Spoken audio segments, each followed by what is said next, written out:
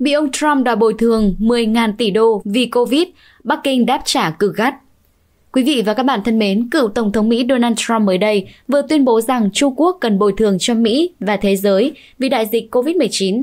Tất cả các quốc gia nên hợp tác cùng nhau để trình trước mắt Trung Quốc một dự luật trị giá tối thiểu 10.000 tỷ đô, yêu cầu họ để bồi thường cho những thiệt hại về người và của mà họ đã gây ra. Bộ Ngoại giao Trung Quốc ngày 7 tháng 6 vừa qua đã bác yêu cầu bồi thường của cựu Tổng thống Trump, nói rằng người phải chịu trách nhiệm là những chính trị gia đã thờ ơ trước mạng sống và sức khỏe của người dân. Được biết, tuyên bố trên đã được cựu Tổng thống Mỹ đưa ra trong bài phát biểu tại Đại hội Đảng Cộng Hòa ở bang North Carolina hôm ngày 5 tháng 6. Ông cũng đã sử dụng các cụm từ như virus Trung Quốc hay virus Vũ Hán khi nói về đại dịch COVID-19.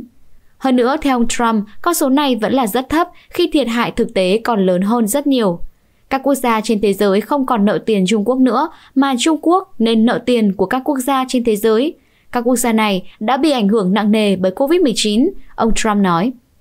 Trước đó, trong thời gian tại nhiệm, ông Trump từng kêu gọi điều tra về giả thuyết cho rằng virus SARS-CoV-2 gây bệnh COVID-19 do dỉ từ phòng thí nghiệm của Viện Virus học Vũ Hán WIV và thậm chí còn rút Mỹ khỏi Tổ chức Y tế Thế giới WHO với cáo buộc rằng cơ quan y tế của Liên Hợp Quốc ủng hộ Trung Quốc.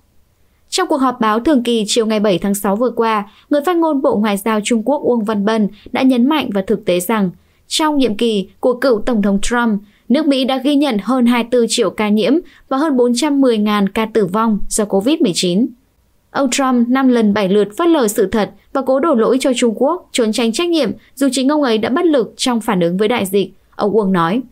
Người phát ngôn Bộ Ngoại giao Trung Quốc nói thêm. Chúng tôi Trung Quốc tin rằng người dân Mỹ có sự đánh giá công bằng về việc ai nên chịu trách nhiệm trong vấn đề này. Đó là những chính khách giả dối, ngồi ở tiết trên cao đã không mang đến sức khỏe và tính mạng của người dân. Họ mới là những người cần bị truy cứu trách nhiệm. Trung Quốc một mực bác bỏ giả thuyết cho rằng virus SARS-CoV-2 do gì từ phòng thí nghiệm. Tuy nhiên gần đây, giả thuyết này đã nóng trở lại sau một bài đăng của tạp chí Wall Street Journal WSG về một số nhà khoa học của WIV được cho là đã xuất hiện triệu chứng giống COVID-19 và phải đến bệnh viện điều trị trước khi đại dịch bùng phát. Căng thẳng giữa Washington và Bắc Kinh đã tiếp tục tăng nhiệt sau khi Tổng thống Mỹ Joe Biden chỉ đạo các cơ quan tình báo nỗ lực gấp đôi để tìm ra bằng chứng về nguồn gốc của đại dịch COVID-19.